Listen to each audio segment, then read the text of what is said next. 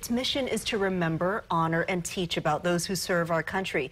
And it's carried out in part by coordinating wreath laying ceremonies next month at veteran cemeteries in all 50 states. Chantel Pangburn is here from Wreaths Across America to tell you how you can get involved.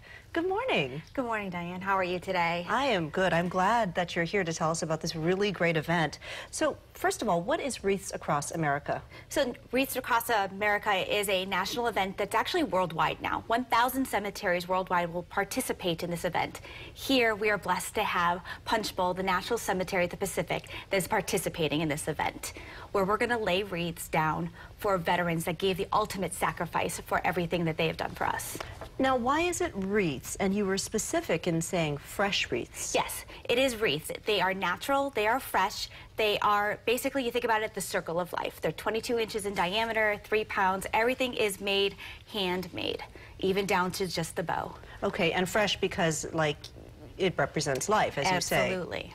Um, how can residents get involved? So we're looking for donations right now. Each wreath is about $15. You go to wreathsacrossamerica.org, you look for Punchbowl, and you can donate right then and there. Uh, we're also looking for volunteers, but without wreaths, we definitely don't need that many volunteers. So you need uh, cash donations for wreaths, or are you asking also people to maybe make wreaths? So actually, it's just cash donations. Wreaths Across America will provide the wreaths. They will ship here from Maine. Wow. Yes. So over 700,000 wreaths will be made this year worldwide. It's a great opportunity for those to just say thank you to those veterans that gave their lives. Absolutely. And so how many volunteers do you usually get a year? This year we're probably going to have about 200 volunteers. It's still a brand new event to Oahu.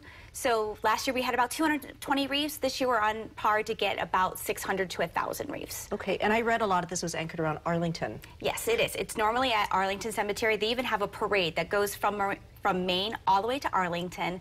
It's a huge, it's the longest parade in the world.